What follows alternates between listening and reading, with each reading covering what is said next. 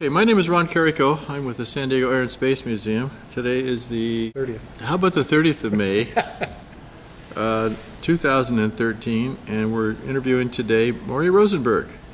And Maury was a, an Air Force pilot. He was in the service for 22 years, 22 and a half years. 22 and a half years, and he was uh, flew in the SR-71 Blackbird. And he also flew F-4s, and uh, I graduated from pilot training in uh, 1966. and after pilot training, where did you go? Uh, I went to Tucson, Arizona to Davis Monthan for uh, F4 training. I had an assignment to uh, Vietnam. And uh, you were in Vietnam. How many, how many uh, missions did you fly in Vietnam? I flew 260 missions in uh, Vietnam. And after that, you came back to the States, did you? No, from Vietnam, I had a consecutive overseas assignment. I went to Yokota Air Base in Japan. And after Yokota Air Base, where did you go? I went to uh, the, I was an instructor at the uh, Fighter Weapons School at Nellis Air Force Base in Nevada. So still in the F-4? Still in the F4. Okay, so when you were at Nellis Air Force Base, somehow you got involved in the SR-71 program, is that correct? That's correct. Um, I volunteered for the SR-71 program. How did, how did you do that, by the way? It was an all-volunteer program, um, and you would um, contact uh, someone at Beale Air Force Base if you were interested in the program, and they'd tell you the procedure for uh, submitting some uh, resume about yourself, and then also they would pull your uh, military records and review them. And- And uh, then if they were interested in you, they would call you up to come out to Beale for a uh, interview. It was a week-long process uh, initially, how, that's how they ran it. It changed a little later on in the program, the interview process. So you apparently passed, and uh, when did you start flying in the SR-71? I started flying the SR-71 in uh, 1973. I think it was around probably uh, June, May or June of 73. And you actually flew it twice, is that correct? That's correct. I had two tours in the SR-71. The first one was from uh, May of 73, uh, I believe. I reported in April and flew the SR-71 until July of 1978. And I had a break in service. I was out of the uh, Air Force for a little over two years. And then I went back on active duty and I was sent right back to the SR-71 where I flew it for another four years from uh, December of 80 to uh, August of 84. So how many hours did you end up flying the SR-71? I had uh, a thousand and um, I think it was a thousand and ninety-six hours in the SR-71, and according to my records, uh, I have the most operational hours in the SR-71. There are some other individuals, uh, pilots and uh, RSOs or radar uh, reconnaissance systems officers that have over a thousand hours. Now, what is an operations, what does that mean, operations? the reconnaissance systems operation or operator. He was uh, generally a, a navigator. A lot of them were uh, B-52 radar navs. Uh, they had a navigator background. Some of them flew F-111s. And the gentleman in the back seat, the officer in the back seat, uh, excuse me, uh, he did not have any flight controls or flight instruments. You couldn't fly the airplane from the back back seat. It was considered a two-person single-pilot aircraft. Uh, but he ran all the uh, electronic gear, all the uh, cameras. He ran the astro inertial navigation system, and he would uh, do some of the radio uh, conversations or talking. So now, what, when you say operational missions, what, are- what does that mean as opposed to just flying around the traffic pattern? Uh, there were training sorties that flew uh, within the United States, and then operational missions. All s- missions that were operational were uh, came through SAC headquarters, but they were actually uh, uh, initiated at uh, the joint, uh, the Pentagon through the JCS, the Joint Chiefs of Staff, And SAC stands for? uh, Strategic Air Command. So they had a kind of a reconnaissance wing of the Strategic Air Command? That's correct. The uh, ninth uh, SRS was the ninth Strategic Reconnaissance Wing at Beale Air Force Base, and the first SRS was the first Strategic Reconnaissance Squadron. And isn't the ninth like one of the oldest Air Force squadrons? Um, yes, I'm trying to remember if it's actually the ninth or if it's the first SRS was a World War One squadron. Wow.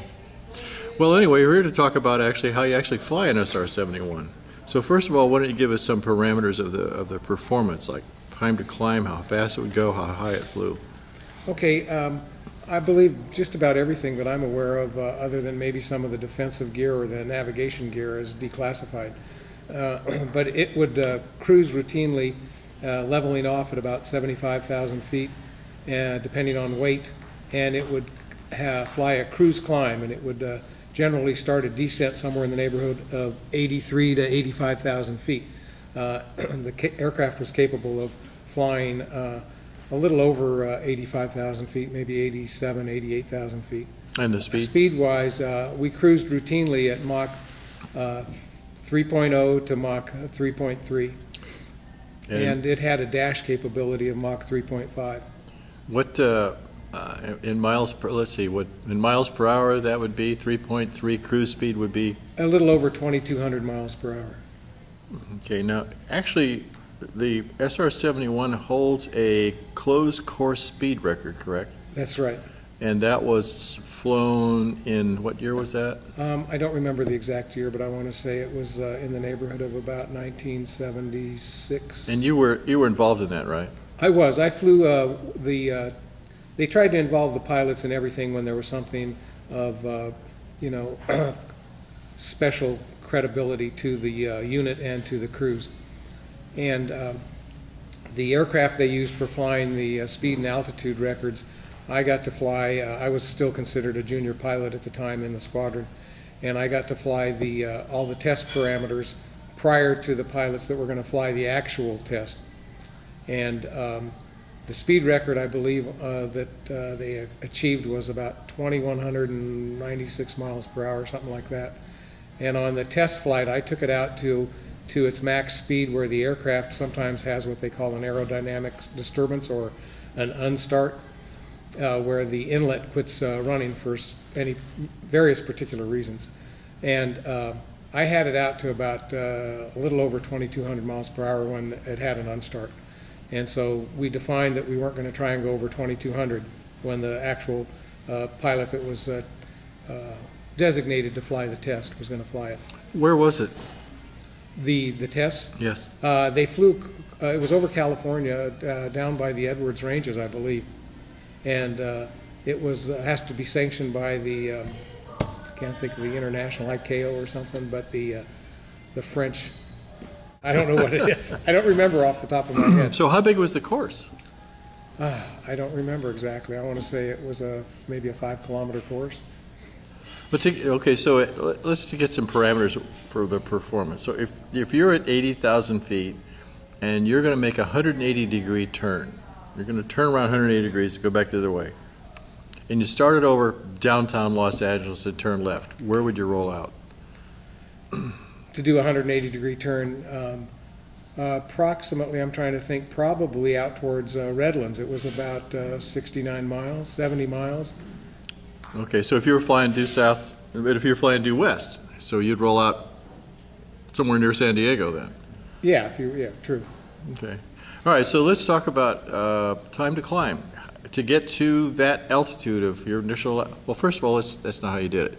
No, You we would- would, we would take off, And, and after takeoff, we normally took off with a about a, a fourth of the fuel load, and that was uh, for less wear and tear on the aircraft. Number one, uh, and uh, less wear and tear on the the brakes, the airframe, et cetera.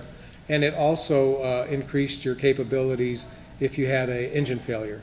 It uh, gave you a greater speed that you could cope with an engine failure, and safely get the airplane airborne to come back around and land. so you weren't heavy weight. So a typical profile would be take off and then you would meet a tanker. Correct. We would take off normally out of Beale and we would climb unrestricted to about 20 to 25,000 feet.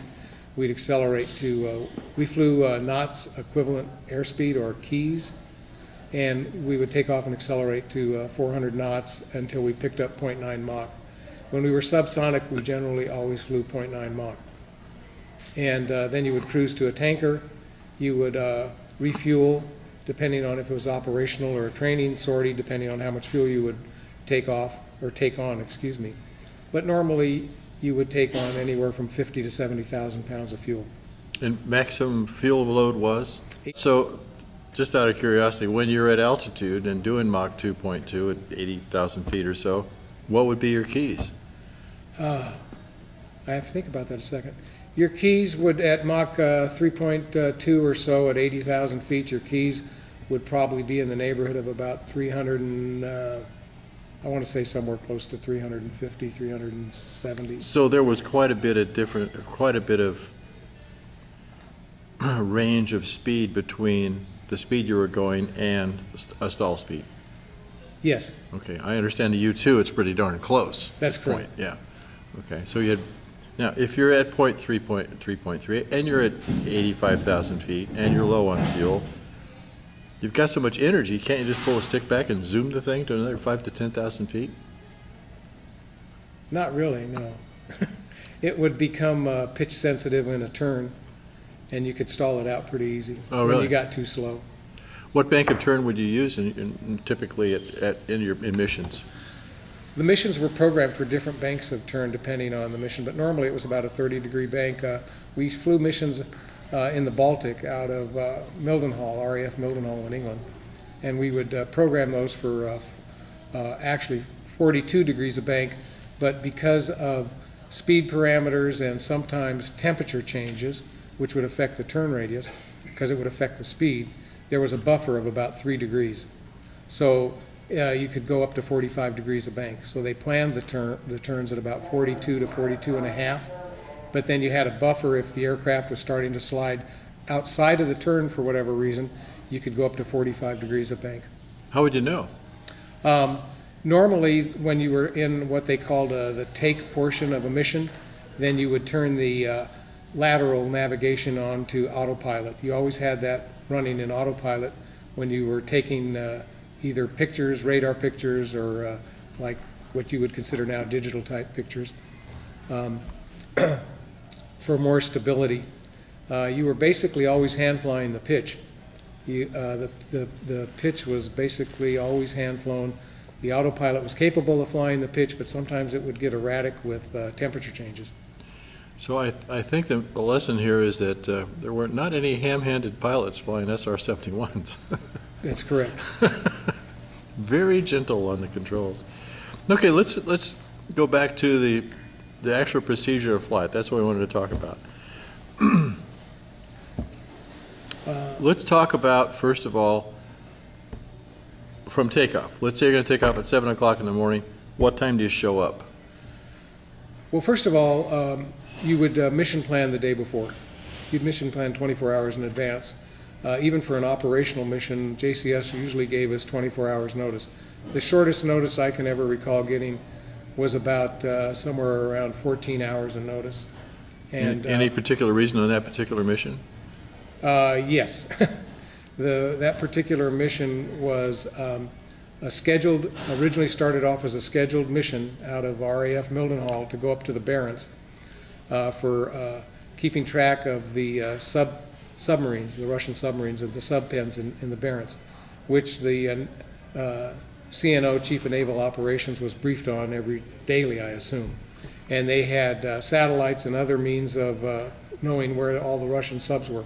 And we're talking about um, 19, uh, this was about 1981, maybe, 1982. And the satellites were down. They had a satellite down, the weather was bad, and they had scheduled an SR 71 out of Mildenhall. And the SR 71 took off out of Mildenhall and lost an engine. So the aircraft was a high maintenance aircraft. Uh, in other words, if it had an engine problem and they landed and they had to change an engine or fix an engine, it was going to take anywhere from 14, 15, 20, 25 hours of uh, maintenance and then maybe require a test hop. So, anyhow, um, when they told the CNO what the problem was, he said, Well, you have two airplanes there, launch the other airplane. The other airplane was in, was in maintenance, it was actually broken, which he, nobody had ever told him. So then the next thing the CNO said was, You have airplanes at Beale Air Force Base, why can't you launch one from there? So that's what they ended up doing. I was at the squadron. It was about um, at Beale Air Force Base. I was at the squadron. It was about 9:30, 10 o'clock in the morning when I got a uh, a call from uh, the command post, and they said, uh, "Go home and go to bed. Be back at midnight." And so we knew that something was going on. So that's at 10 in the morning. So uh, we came back actually about 11 o'clock at night, and we actually did our mission planning then. We launched out of Beale about, I want to say, somewhere between 2 and 3 in the morning. And we flew from Beale uh, all the way to the Barents, refuel, with refuelings en route, and uh, did our take in the Barents, and then we recovered in Mildenhall. And they had a dedicated uh, aircraft to take the, uh, all the uh, radar and any other photography to Washington DC directly there uh, to be processed and briefed to the uh, CNO, Chief of Naval Operations. How many miles was that total? Probably about, uh, I'm guessing total, I'm, I'm guessing probably about eight to 10,000 miles. And how many hours? It was um, about a seven-hour sortie. Jeez. Okay, so let's uh, talk about pick, typical. All right. So if you're going to take off at seven, it's just a regular mission. You've already pre-flight. Uh, you've ever done anything. You didn't actually pre-flight the airplanes ever, right? That's correct. You always, there was always a buddy crew, and the buddy crew would pre-flight the aircraft. So you arrive now. You're going to get suited up. That's the point I'm getting at. Is you, you've got to get Right, suited right, up in your spacesuit. Normally, uh, let's just do a typical training mission. Okay. A training mission, you would, as I said, uh, mission plan the day before. You'd show up at base operations two hours before takeoff. So if takeoff was at nine in the morning, you'd be at uh, base operations at seven. You'd go over your weather. And uh, then from base operations, you would go to the Physiological Support Division, or PSD, that maintained the pressure suits and were in charge of the ejection seats and all the emergency equipment that went with the ejection seats. Um, And uh, when you got to PSD, you would have uh, a meal which was considered a high-protein, low-residue meal, usually consisted of some sort of protein with eggs, which normally could be steak possibly, or um, um, ham or something like that. And um, while you were having breakfast, the crew chief would come in with the uh, um, flight manual or the uh, airplane log, and he'd go over everything with you as far as any uh, mechanical things that had been written up or corrected or fixed and so forth. And uh, the buddy crew would, about this time, they would be headed out to do a pre-flight of the uh, aircraft to set all the uh, switches in the cockpit and also do a walk around and check everything underneath the aircraft. Uh, Once you had breakfast, you would go back into a locker room area where you would change uh, out of your uh, flight suits, and we wore long johns under the pressure suit, and you would then put on your pressure suit. Um, The PSD crew would help you don the pressure suit or get into it, and then they would uh, seal everything up, close everything up, and pressure test your pressure suit and make sure everything was working properly. Once they finished that, um, then you would unlock the bailer bar that held the faceplate down, open that up, and uh, everything else would be sealed up as far as your gloves, your boots, etc. And uh, it would there'd probably be anywhere from a 15 to 20 minute time period there till you would go out to the aircraft, and you would go out to the aircraft uh, about uh, somewhere like 40 to 45 minutes prior to takeoff. And, Okay, let's uh, talk about the pressure suit for a second. Okay. The pressure in the suit. What kind of pressure did it maintain? Well, the pressure suit itself was not inflated when you flew. The cockpit was inflated. So the pressure. The cockpit was pressurized, you The cockpit was pressurized. It's, yeah, And you had choice of a couple different pressurizations. right. You could either fly at 10,000 feet cabin pressure or 25,000 feet. Uh, everyone, 99% of the time, used 25,000 feet uh, because you had to have the faceplate closed anyhow. You were breathing 100% oxygen all the time when it was closed. And at 25,000 foot cabin pressure, the air conditioning worked a lot better. Uh, it was hard to get the aircraft cool because of the uh, heat created by friction at speed and altitude. I think that's a good time to mention the speed, uh, the, the friction. The friction of the air over passing over the airplane caused a tremendous amount of heat. That's correct. Typically, in front. Well, let's just give an example. Uh, if you use your glove to touch the windshield, what would happen? In the uh, the front seat, first of all, uh, if you if you uh, put your hand on the side of the windscreen, uh, you couldn't hold it there from that, and you're wearing a pressure suit that has a glove that's a Nomex glove, which is fire retardant. You couldn't hold your hand against the windscreen for more than 30 to maybe 40 seconds at the most, because it would be so hot you'd have to take your hand away. So, what was this, the temperature? But I think it was in the neighborhood of 600 degrees uh, Celsius. So, okay, so now, now you're you go out the airplane. You're going to start the airplane. How do you start it? What actually starts the airplane? Okay, Do you have a push a button and start a motor type No, no, thing? no. You had a, uh, initially, they used these carts, a start cart that consisted of, uh, initially, it was two Buick V8 engines that were coupled together and they were hooked up to a spline or whatever you would call it, shaft that would come up into the bottom of the engine and would start turning the turbine. So they would run those uh, uh, Buick engines up, and they were extremely loud. It sounded like being at a drag race, if you were at a drag race. And uh, that would uh, start the engine turning. As soon as you saw RPM to start the engine, you would take the throttle out of cutoff and put it in idle.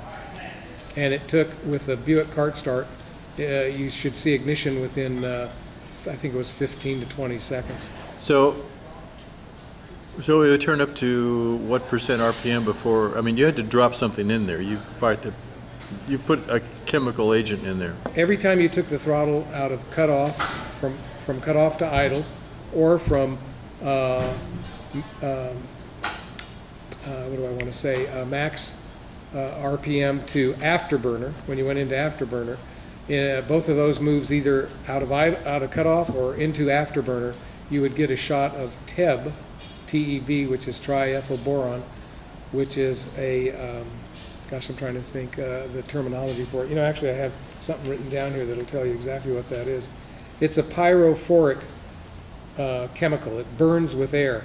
It's like phosphorus. It ignites when it hits the air, and that would uh, give you ignition for the uh, fuel. So coming out of cutoff or going into burner, either one would like, would, would put TEB in there. And how many TEBs did you have There was uh, 16 shots of TEB per engine? per engine, and you had a counter at the base of the uh, throttle control panel at the back, and every time you took, went in, came out of cutoff to idle, or burner, uh, max to burner, um, or military RPM, I should say, to afterburner, uh, it would decrease by one. And that was, one of the limiting factors was how many shots of TEB. So, the RPM's coming up, 15 to 20 percent. Boom. 15 to 20 seconds, you should have ignition. Okay. And it's, and when it gets ignition, it just winds itself It up. It winds itself up. And which engine do you start first? Uh, we would alternate, uh, generally we would start with the uh, left engine. And then the next time, they would write it in the logbook, the next time they'd start the right engine. That's odd. It was just for wear and tear, I think, on, uh, you know, uh, on the, I'm not sure exactly, for Okay, the so now hydraulic typ- systems or typically you were in a revetment of some sort. True, and then you taxi out, so, now, there was always another vehicle with you when you taxied out. right. And who was that? That was your backup or buddy crew, and they were called uh, mobile. They were, they had radios, they could talk to you on uh, UHF or VHF later when we got that. Generally, it was UHF. Okay, so now you taxied down to the end of the runway, you're cleared onto the runway. Right. One of the interesting questions I heard you ask once before was, when you were on an operational mission, who did you talk to? Uh, Generally, once, dep- depending on where the operational mission was from, normally, Let's say Okinawa. okay, Okinawa. Um, Some operational missions, um, they would actually give us a clearance to take the runway and a clearance to take off. Others, they would use a light from the tower, just like World War II. They'd give you a green light to taxi and a green light to take off. So, in essence, uh, s- some of the missions, we didn't talk to anybody. Okay, so you roll out of the runway, you're on the runway. You get your green light wherever you are, you're cleared to take off. Tell us the takeoff procedure. Uh, takeoff procedure was uh, you pull on the runway, you check your headings with your uh, ADI and HSI and your uh, whiskey compass, uh, and then you would push the power up to uh, military RPM, and it, you couldn't. It was difficult to lift both throttles into afterburner, but you'd try to lift them both into afterburner. They never lit together. Uh, one would light and then the other. You'd always get a kick or asymmetric kick, so you always were aware of that. Uh, you'd run them up to military and release the brakes. Um, then you'd lift the uh, throttles into afterburner, and you would feel the ignition. It was a little jolt in the aircraft. You'd actually feel it. And uh, once you had a, saw the uh, afterburners were lit, then you'd smoothly move the uh, throttles to max afterburner, and uh, you would start checking your uh, refusal speeds. You know, your lift coming up to your liftoff speed, your single engine, etc. You knew all these ahead of time and you would start a smooth rotate with the stick about uh, 15 to 25 knots below uh, liftoff speed. And generally speaking, uh, they wanted you to uh, get the nose off the ground by 180 knots because the aircraft would even depend even depending on weight, it would come off the ground at about 210 knots. And the tires had a limitation, I think, of about 220, something like that. So you only had, you had a small margin before the tires could overheat if you didn't uh, get the aircraft off the ground. So now you now you get airborne Raise the gear, and accelerate to 400 knots, start a max climb to 20,000 feet or 25,000 feet. what do you think? From, what from was- brake release to 20, 25,000 feet, it'd take about two minutes. Wow. So that climb rate must be it's a good ten It's thousand. maxed at what the uh, VSI is, It's vertical 10, 11,000 feet per minute At 10 or 11,000 feet. and going. and we're accelerating all the time to 0.9 Mach. Uh, Once you lift it off and you put the gear up at 0.05 Mach, there was a control between your legs that you would turn and engage, and it was a surface limiter that had to do with the total movement of the rudders. And they only did it early on so you would, wouldn't forget to do it, because when you got up to speed and altitude, uh, and you had an unstart or a single engine condition, and you tried to control the aircraft with the rudders, it limited the uh, amount of surface movement, because uh, in certain flight regimes, you could actually rip the rudders off the airplane if you use too much force. So now let's say we're up and we've leveled off. What kind of a what are the sort of a typical checklist when you've leveled off? Actually, you're just going at the tanker right now, so you're Right at now. 25,000, 30,000 feet. Yeah, and, and normally on a training mission, you're talking to air, air traffic control and all that. Uh, on other sorties, uh, an operational sortie, you're not talking to anybody, you're just flying your route to the, uh, to the tanker. And how do you contact the tanker? Um, we would contact the, the tanker, uh, generally on, uh, UHF, we'd give them a call. And do you have a typical call sign? Uh, yeah, they had, we all had, um, classified call signs when we talked to each other, so, uh, it wasn't like, uh, uh, the training sorties for the SR seventy-one B model was Aspen five-six, I think, that was, uh, the trainer, it was always five-six. Uh, but other ones, it would just be whatever the call, whatever the, uh, That random. that, that random code they would give you and, uh, call sign. Okay.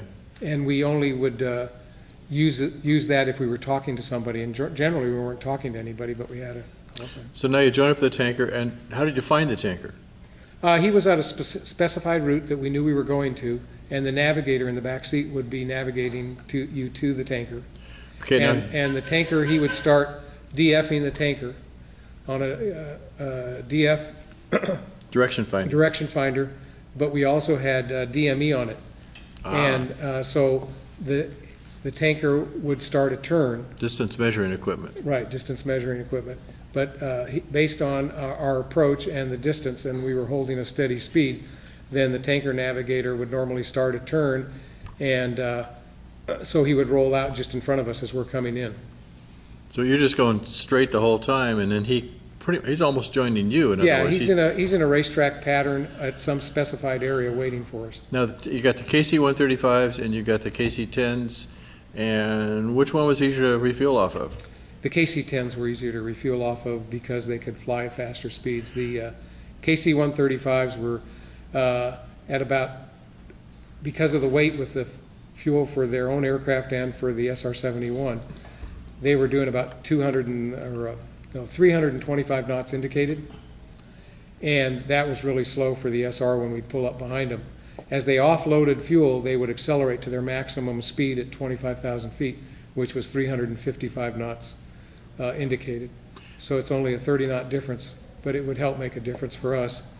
But sometimes it, that was even too slow depending on temperatures, and you'd have to light one afterburner, and that, that could be a little tricky because um, they don't light right away, and you have to anticipate as it kicks in, pulling back the other throttle. Now you have asymmetric thrust, and so you're using the, the rudders to control your uh, longitudinal, I guess, or lateral displacement. So, but there were some points where the where the KC-135 would have to kind of put the nose down and accelerate a little bit to do a little porpoise type thing to keep To- his speed up. Yeah, to keep his speed up. He would sometimes. Okay, so now you're off the tanker, and now what? You're going to go. You're let's say you're on an operational mission. Now what? Let's not talk about where you're going. You're just going to go. What okay. do you do? W- once we were off the tanker and cleared the tanker, uh, just as a note, we had no weather radar, so if there was weather ahead, uh, when we hooked up with the tanker, we could talk to them uh, via an intercom through the uh, boom. And uh, the navigator in the SR-71 would generally ask the navigator on the tanker, you know, what weather, are you painting any weather or thunderstorms out ahead? Because we're going so many, whatever the heading was, we're, we're going to be on such and such heading.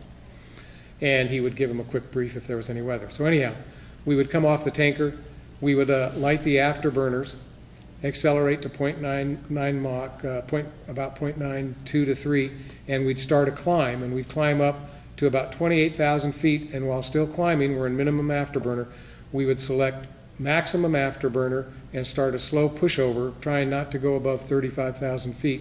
And the aircraft would accelerate through .9, .95 Mach, which is the transonic uh, highest drag, and we would push the nose over to go through that as quick as we could to accelerate through the Mach number where we're going Mach 1 point something. Uh, and as soon as we started going downhill, we would start watching the KEAS increase, and we'd go downhill anticipating 450 KEAS. And by anticipating, if we're going through about 410 or 420 and it's going pretty fast, we'd start to pull back on the stick to start a climb. Uh, so that we would control the KEAS with pitch, hand flying it. And uh, then we'd start our climb and we'd hold 450 KEAS on the climb, and the aircraft would just start accelerating through the Mach numbers. Uh, at about Mach 2. No, no, wait, I'm sorry, 1.6 to 1.8, the inlets started, what they say started. They would unlock and start to move aft. Um, and uh, as we continue. You're talking about the spike in the front. the spike, uh, and the nacelle is round and the spike is inside it and it's sort of like a donut. And as we start to accelerate above uh, 1.6, 1.8, the, the spike starts to move aft. So this circle here, or donut, the throat or hole gets bigger and bigger, which means more air is coming in. And uh, the air is not necessarily for the engine, it's to go around the nacelle and also for cooling. And the air. That's what those big tubes are on the side of the engine. Right, the big tubes on the side of the engine. It's a turbo bleed bypass engine. Just, I, I, I won't put this on the video, but when, they, they talk about using, the pilot actually controlled the spike too, correct? You could manually. And then there was also some doors in the back. What do the doors in the back do? You had forward and aft doors. The forward doors were automatic. You had no, well, you could automatically over, you could override the automatic. Well, you could override the spikes and the forward doors automatically and set a position on both of them, the spikes and the doors. The aft doors were manual. They didn't work operation, or um, ma- automatically. The aft doors um, would be set when you started this at uh, B, which was the most open point. Okay? And as you went through certain Machs, and you would watch the uh, spikes coming back and the compressor uh, inlet temperature and the com- CIP compressor inlet pressure, um, you would go from B to A to uh, eventually about Mach 3.0, you would usually be closing the aft doors manually. Oh, you were busy. You, oh, you were very busy, and you're transferring fuel because you're controlling the CG. When you went, uh, excuse me, when you went supersonic, the CG shifted aft, and you didn't want it to go any further aft than 25 percent. So you had to watch the C. We had a CG gauge that was about this big, so you could read the numbers real well, and you would start Well, transferring. you weren't as old then either, Huh? remember? You weren't? You weren't as old then. I You wasn't as old. I didn't need glasses to read. Uh, and you would transfer fuel towards the forward tanks to keep the CG forward at 25%. There was something about, that I heard about uh, the tanks, the number of tanks. Most of the tank, the tanks are in the fuselage, right? Right. Uh, tanks, uh, I think it's, is it six and five or just five, were in, in, uh, in inboard, in par, inward part of the wing or whatever you call it. But those were the ones where they would leak the most because the pol- polymer plastic or whatever would be the hottest.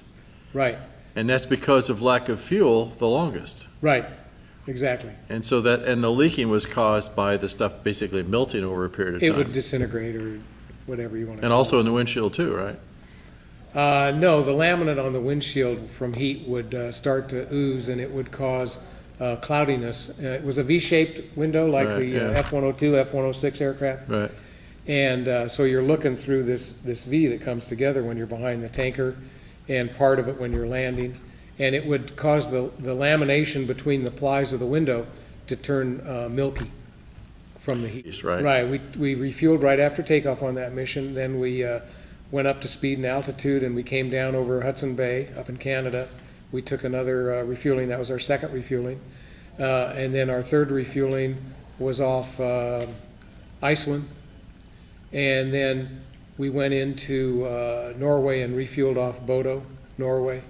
Went into the Barents and came out uh, with the take. And we had enough fuel to uh, make it to, uh, back to Mildenhall, but it was planned for a token offload. We'd come back down over Bodo, we'd decelerate and come down, and uh, take like another 20,000 pounds, just in case there was weather or problems at Mildenhall. What what was the, how much fuel were you using per hour? I mean, it's When you, when you took off your fuel, on takeoff, your fuel gauges are probably reading about 120,000 pounds per hour per engine. Uh, And uh, when you uh, got up to uh, cruise, uh, when you first leveled off, say at 75,000 feet, I'm trying to remember, you're probably uh, burning about uh, 28,000 pounds, 26,000 pounds an hour per engine. And by the time you started your descent, uh, you were down to 17,000 pounds or some smaller, a lot smaller number. Okay, so now you're gonna hit the, you're gonna hit a tanker. How far ahead do you have to put the, pull the power back, put the nose down to hit the tanker? Roughly, it took about, it was about 360 nautical miles. Wow, and the nav is calling all this. Yeah, well, he's doing it. Uh, We had a moving map display. In the front cockpit, it was a cam, uh, a screen about this big, was between your legs, just, just above where the surface limiter was. And it was synchronized to your speed. And um, it was like a movie projector. And by that, I mean the mission planners who planned canned missions, or if it was a new mission and they had to get the maps and draw it out, they would draw the line and all the information that goes on the line, where you should be at this altitude and speed on the line, etc. And they would actually take a movie of it with like a, a movie camera, 16 millimeter movie camera or something. Wow. And then they would load that film in the projector in the front seat. And it was, as I said, it was synchronized to the air, aircraft speed, and you could be following around, and it had information. The navigator had a thing that folded down like this, and it was a rear projected thing that uh, projected onto his screen too, and he could use a grease pencil and make notes and stuff and so forth. Okay, So, uh, so it would be a point on his screen and on my screen, I would see it, and he would say, uh, okay, we're coming up on descent point. And at descent point, you take both throttles after, after, out of afterburner, you would feel a slight bump as they came out of afterburner, but the speed wouldn't change. It would take it a while. You just hold your level speed until the speed started to decrease, and then you'd start a descent. So you start the descent after the, after the speed slowed down? Right. So at, at, at point nine, uh, point nine two, or, Oh, no, no, no, no, you're still going supersonic, you're bleeding off the speed uh, as you're coming down supersonic, and you're decelerating, going through the Mach numbers, well, how far, slowing you, you must, be- if the, the tanker's going three twenty-five, and Mach is probably five fifty at that altitude, so it, you have to be su- subsonic by the time you're within five miles or ten miles or something like that, right? Right, right. Wow. It was a, uh, But did you have, you had, did you have air-to-air radar? no, no air-to-air radar. There was a radar at all? Uh, Just, no, just to take pictures radar. Oh, boy. Now, my understanding is the uh, A-12s, uh, the CIA single-seat, single airplane version, had a uh, weather radar. Well, think of the cool stuff they could have today. Okay, so now you've hit, we talked about that. Now you're going back and you're going to go into land. How do you get ready to land? De- descent checklist, basically.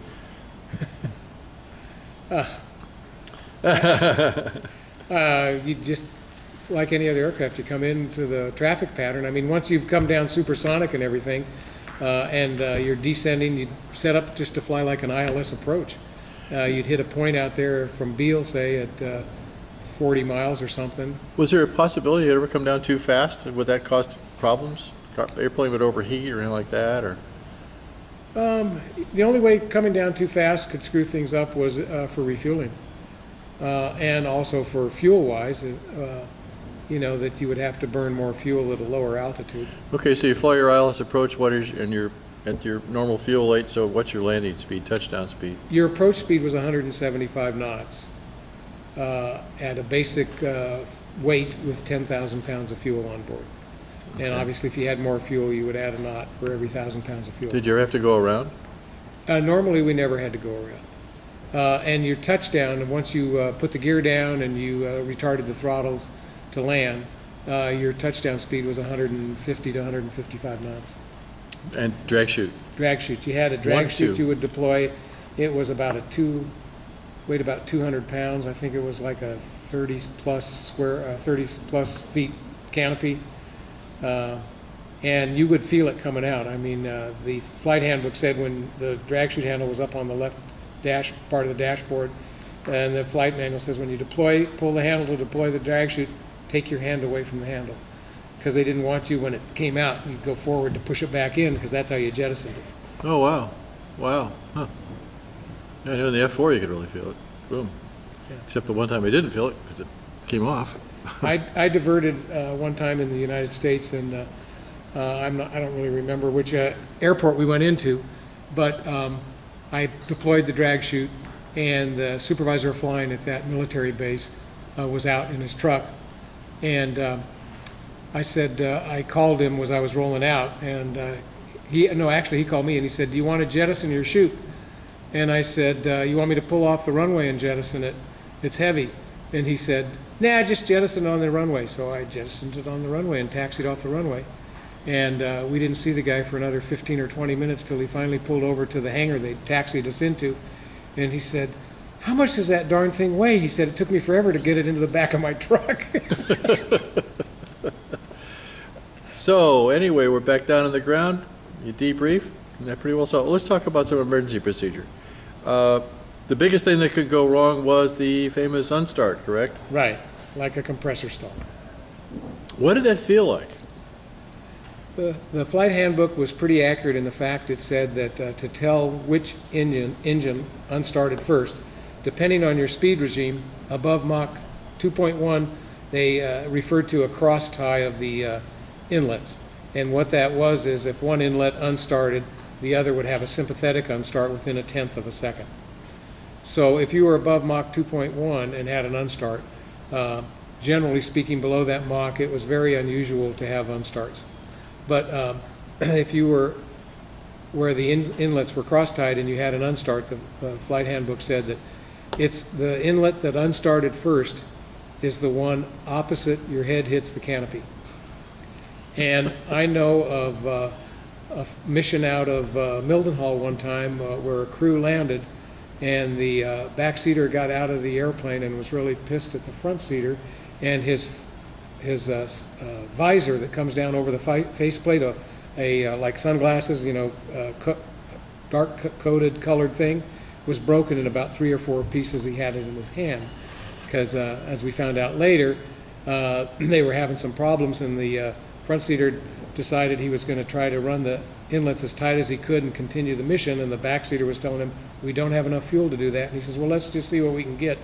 And manually, he caused a horrendous unstart and the back seater hit his head against the side of the windscreen and busted his visor. Well, you, you must have had several unstarts, right?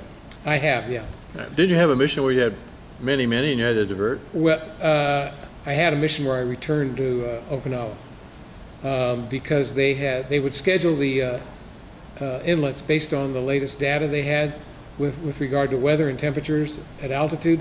Then they would schedule the inlets and the uh, forward bypass doors, uh, and they would feed that tape into the inlets, and the inlets would run automatically. We had manual controls to override them if we had to and they had put the wrong schedule in. And it was a, it was a in the black mission that I took off and didn't talk to anybody. And I couldn't figure out what was going on, why it kept on starting, and everything looked like it should look. And I had about five or six unstarts till I finally gave up and said, okay, I'm done, I'm going back. So we went back and we landed. And uh, when we went into debrief, and I started telling uh, maintenance people what happened, the uh, maintenance officer that was there said, uh, he said, "You're a glutton for punishment." And I said, "What are you talking about?" And he said, "They, by accident, they put the wrong schedule in for the inlets. We knew you'd be coming back. We didn't think you'd put up with five or six unstarts." So were those all at, at high speed, at Mach 3 or whatever? they were in one of the worst points, like about Mach 2.3 or 2.4 at about 50 to 60,000 feet. But basically, the whole airplane just goes sideways all of a sudden. well, it right? tries to turn sideways, yeah. Wow, wow. Okay, we've been talking now for 44. About 4,000 feet of runway. 1,000. And it took about 5,000 feet to land with a drag chute. But when it took off, it just went Yeah. Yeah, yeah. straight up. We had a, we had a mission, we flew out of uh, Okinawa, that um, you took off with half a fuel load instead of just a quarter. And you would take off, put the gear up, push the nose over, and you'd hit 450 knots at the uh, end of the runway at Okinawa, and you just start climbing at 450 till you started going supersonic, and the KEAS bleed starts at 2, 2.6 Mach, and you'd go right on up, and level off at about 77,000 feet. And different guys had, you know, would fly that mission, and everybody tried to see how quick they could do it.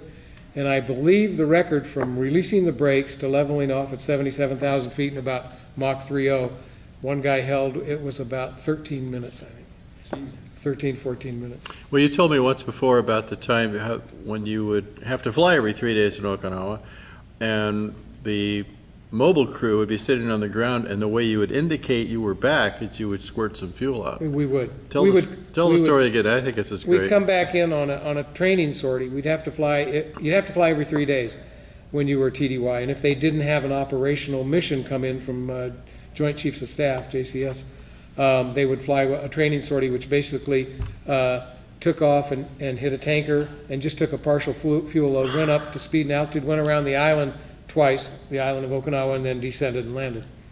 And so anyhow, when we flew those, the mobile crew would be on the ground uh, and we would, when we were making our, our loop around the island, we would call them on the radio and tell them, uh, okay, we're coming by, and we'd tell them where we were, so they would look in that direction. And we'd dump fuel. We'd say, okay, we're going to squirt now. We'd tur- turn the fuel dump on for like, you know, 1,001, 1,002, turn it off, and then, you know, wait maybe a 1,001, a 1,002, turn it back on. You know, 1,001, 1,000, turn it off. We do that three or four times. And until you were the mobile crew and saw it, you couldn't believe it because, like, you're looking up in the sky and here's a squirt of fuel here, and it's only two seconds, and then, gosh, it's way over here, boom, and then they're almost halfway around the island. And so when you do that, it's just an ignition, a It, big no, it's, it looks like uh, airline, uh, airliners that have a contrail. Oh, okay. It looked like white smoke, Right, right, but it's actually the fuel vaporizing in the air. How come the airplane didn't con at altitude? because uh, we're above the uh, what is the uh, moisture level. But and and didn't they put something? part of the, uh, in the front seat, there was a periscope. After you close the front seat canopy, you push a periscope to look behind you. And uh, mainly it was used for trimming the rudders.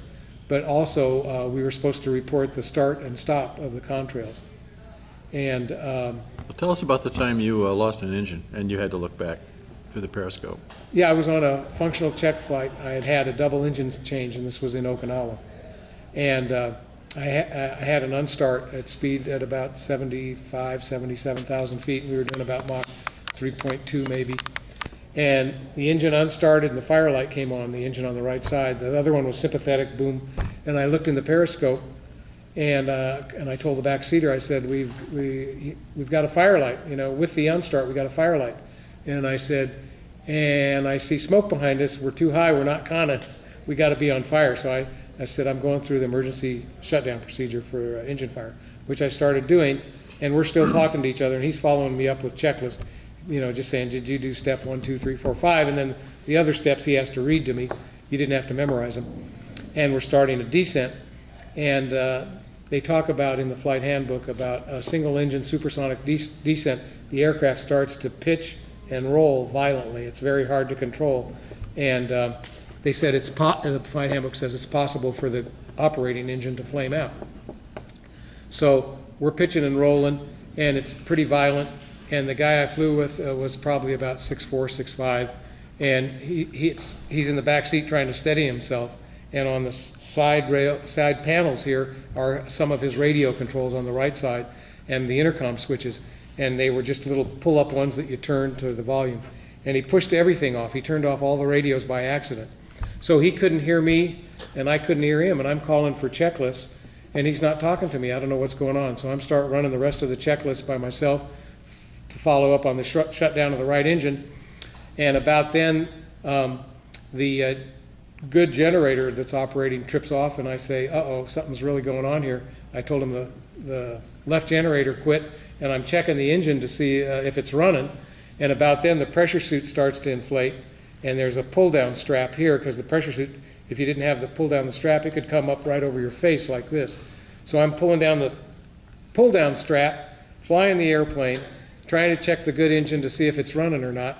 And because I've got RPM, but we're coming down, falling like a rock, even though we're pitching and moving like this.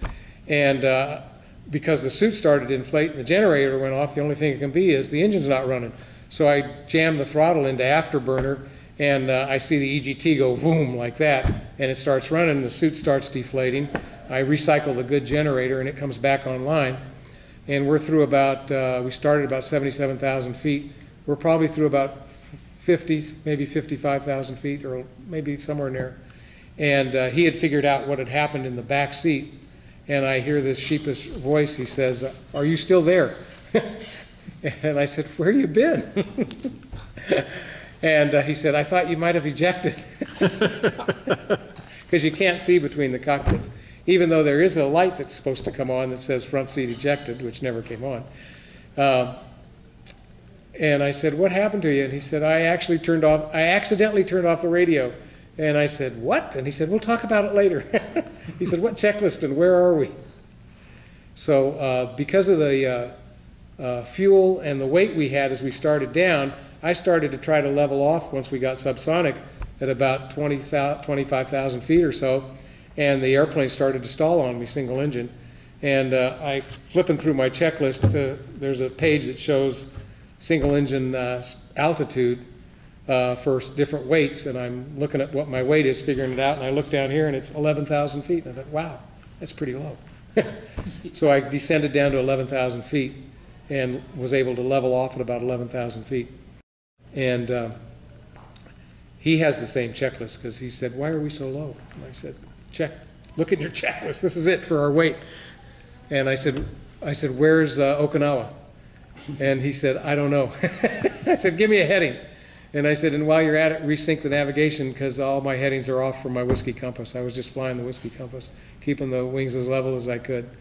And he resynced the nav, which was good, and I had my platforms and the heading swung around. He resynced the heading. And uh, the maintenance people in Okinawa would keep an HF radio for the DF on for us when we were coming back because we could uh, DF off of them if we wanted to. We called them Mama and he said, I'm going to see if I can get a DF on Mama. And he tried a couple times till finally the DF needle pointed real close to the heading we were on. We were just had guessed. And he said, okay, that's, that's Mama, fly that heading back to Okinawa. Then when we got close enough, we called, told him we had a uh, single engine, we'd lost an engine and so forth. I remember a long time ago, uh, we got together and I think I had just gotten back from Okinawa flying in a C-130 and uh, I think we flew from Okinawa to Tokyo, from Tokyo up to uh, Elmendorf in Alaska. Basically, it was a 16-hour flight or 18-hour flight, and took two days plus a night. And then you told me about the mission, uh, or that, that I think at that time you held the squadron record from returning from Okinawa to Beale. Why don't you tell us how you did it? It was called, uh, they had a code name for it, it's called Glowing Heat at one time. We would uh, swap out airplanes between Beale and Okinawa. We would do the same thing for Mildenhall at certain times when aircraft had to have heavy maintenance. Um, at some point later on in the program, they decided, uh, you know, if we're going to swap out airplanes, why don't we fly a mission swapping them out, which they did. So you couldn't get any real records after that. But I flew from Okinawa back to Beale Air Force Base, which is sort of the equivalent of flying from, say, Tokyo to San Francisco in a sense. And um, I did it from break release to touchdown at Beale in, I think it was just barely under four hours. Might have been exactly four hours. And uh, it was uh, just uh, two refuelings. One refueling right after takeoff, one refueling off the Aleutian Islands up in Alaska. That's fast. That is, glow- fast. that is glowing heat. okay, I, They had a double glowing heat one time where the two pilots said they saw each other. Uh, in other words, one was coming home and one was going over. And uh, the, uh, they were at different altitudes, but because the uh, navigation system was so accurate, it was an astro inertial that tracked the stars. They, you know, passed one passed right over the top of the other, and they were counting down. They knew, you know, they were DFing each other. and so the one guy's looking, the guy on the bottom looking up. He said the airplane was uh, looked gray. It didn't look black when it went by, wow. which was interesting. But think of the closure rate had to be 60 to 70 miles a minute. Oh yeah, I mean, you wouldn't have much time to spot anything. No, no, no. It was quick. Oh yeah, the guy said it was really, you know, they started looking like hundred miles out at trying to. The guy who was lower tried started looking at hundred miles out. The guy that was higher said he had no no chance because he's got to look over the chine over the nose. Yeah. So he'd never see him. He said. Uh, just over seven and a half hours. We took off out of Beale, went up uh, through Alaska. We went over from Alaska. We went down the Kamchatka Peninsula by Russia. We came in off the uh, northern island of Japan, Hokkaido, I think it is. We dropped down, refueled, and then from Hokkaido we went over and we did a, a couple passes through uh, Korea, through the DMZ, and then we came back out uh, and refueled somewhere else, and then went back to uh, and landed in Okinawa. That whole mission was about seven and a, almost seven and a half hours. So was that refueling like three times? No, let's see, one, two, three, four, four refuelings. As long as we're at it, what the hell? What, tell us about the time you got shot at. Uh, that was in August of 1981. It was the first operational sortie that I flew with a new RSO or Navigator. And uh, it was our last, we were, it was a six-week TDY, and it was our last sortie for the six weeks. We were going home the next day, scheduled to go home, which we did. But anyhow, they had been flying this uh, sortie through the DMZ, and there's an island in the DMZ called Choctauri, I think it was the name of it. And uh, when we would fly that, we were getting uh, indications of a SAM radar site on Choctauri. And uh, so guys would report it in, in debrief to the intelligence officer, and they were keeping data, data of it. And uh, it was pretty regular. And um, anyhow, uh, when we flew the, in our mission in the pre-briefing before we went, uh, I asked the intelligence officer, I said, we've gotten all this data from, you know, other sorties for the last, it was for the last almost 10 weeks, that there's probably a site there. I said, why do they call it a suspected SAM site? And the guy says, oh, you know, I, you know, somebody higher up than me makes those decisions. I have no idea. And I said, what, what do you need, a visual or something? He said, that would help. I was just joking around. So anyhow, on that sortie, you made three or four. I think you made one, two. You made three passes through the DMZ, and uh, the first two passes we had nothing. The last passes were coming through, actually heading from east to west towards the South China Sea, I guess it was. Uh, my backseater says, uh, uh, "I've got a missile site up." He said they're uh, painting us. They've gone to uh, high PRF, which is pulse recurrence frequency, where they can uh, narrow down their beam width so it's stronger on a target. In other words, like a lock-on, instead of just sweeping, bang. You know, now they're just looking at one thing. They have high PRF, and the SAM site had the capability to simulate launching a missile. And he said uh, they've launched a missile, and then they could talk to the missile to guide it. He said they're talking to the missile, and uh, one of the things that made the SR special was we had the capability to know if the missile answered. Other airplanes didn't, so we would know if it was a spoof or not. So he said they're talking to the missile, and then he says, "Oh my God, the missile answered!" and I'm looking out over the nose of the airplane, and I see the damn thing coming up. I said, "I got a visual." and so we had a procedure. He said, "Accelerate, accelerate," because anything you do to change the equation, because it's a head-on pass. In this instance, there was, I believe, it's like a 52-second window from the time he acquires us to be able to lock on, track us, fire a missile, and he might have 10 seconds of guidance and hit us before, you know, because the closure rate's so fast. The missile is doing uh, Mach 2 point something or Mach 3, and we're doing Mach 3, so you got, you know, a hypersonic close, closure rate. I saw it go by the airplane, and it's hard to estimate distance at altitude. I saw it explode. And uh, so anyhow, we I jammed the throttles forward. Uh, we accelerated up to about 3.3, 3.4. I don't know what we were doing, and we started to turn to another parameter in the equation. So as soon as we came off track, because we started this turn, all our missions were monitored, and whoever does the monitoring, they would tell somebody else, and they would transmit over uh, HF frequency, and it was all um, alpha phonetic codes. And the guy in the back seat had the code book and they would say Sky King, Sky King, Sky King, and they would say this first code, which might be Juliet Hotel Mike, and that was SR71, say, for that day. And so he knows they're talking to him. And then they'd start sending out these codes, and it's saying, you're off track. Basically, you're off track. So we were supposed to be making a turn and go back to Okinawa anyhow. So we just had turned a little early, and we're headed back to Okinawa. And when we land, uh, nobody knows what's gone on because he looks through his code book and there's nothing to say visual sighting of a missile fired. He doesn't have any, you know, alpha codes to tell him, alpha phonetic codes or whatever. So when we land and we get out of the airplane and we go down the ladder, the squadron, the commander of the detachment would always meet you at the bottom of the ladder.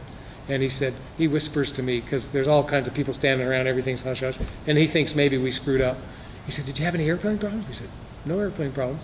He said, Do you know you guys went off track? And I said, A missile, we saw a SA 2 fi- firing.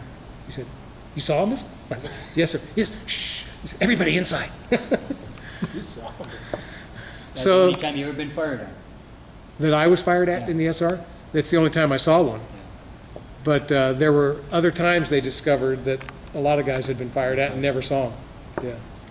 Well, that was a big deal. I mean, It was a big deal. that was huge. We landed. um, Reagan was president, And raised hell. Reagan was president, yeah, and uh, uh, I'm trying to think what happened. They notified, when, when all the communications started working, because uh, when we're going through debrief, the commander of the detachment asks his NCO comm officer, the NCO, he says, what are we supposed to do? And the guy's looking through this book, and he says, you have to call the president or the White House or somebody. So he calls the White House and tells them what happened, and then, shit, it was, before we left the squadron that night, it was on CNN. But uh, the, uh, I can't think of, what was it, the wing over there, 15th TAC Fighter Wing in Okinawa? I don't know what the fighter wing was. And they had F-15s, and they were notified through the chain, you know, to, and alerted to go to an alert status for a deployment to Korea. The whole four squadrons, they had some airplanes over there, because they were thinking we might be going to war. You know, there was a live missile firing at a airplane and blah, blah, blah, blah, blah. So the uh, director of operations of the 15th Air Force, this colonel, I was a major at the time, he wanted to come over to the detachment to talk to the pilot that said he saw the, the firing. Well, it turns out this colonel that comes over, he was a major when I was a captain at Nellis in the fighter weapons school, and he knew me, and we'd flown together. He was coming over to make sure it was a credible source. So he, when he came over to uh, our detachment, and they let him in because it's a secure area, and he says, "Who was the pilot?" And he walks in, and they said it was uh, Major Rosenberg, and he looks at me, and says, "Rosie," and I said, uh, "I didn't know he was there. I didn't know he was a DO." And uh, uh, Moody Suter was his name. I said, "Colonel Suter," and he says, "You saw the fire? And I said, "Yes, sir." He says, "Good enough for me. Let's go. We're deploying." so they they launched about 16 F-15s, uh, I think. All because of little old Maury. Yeah, my fault. I think that's enough. Okay, that's more than enough.